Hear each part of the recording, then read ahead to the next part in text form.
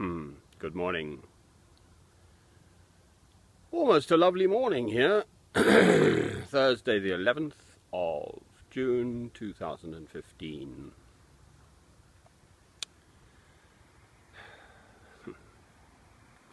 All the days ordained for me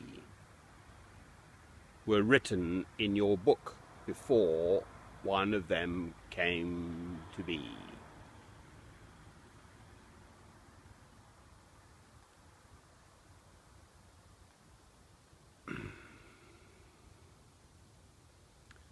On the face of it, I really am a complete, utter failure, a waste of space. But my faith tells me that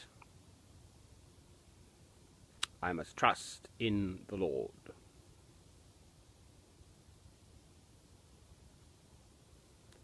He has prepared me, He is preparing me for something. I don't know what it is, not of this world, in the ordinary way. Clearly.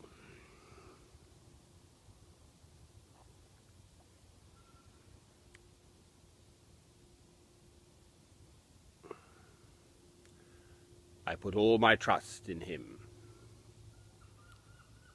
Amen.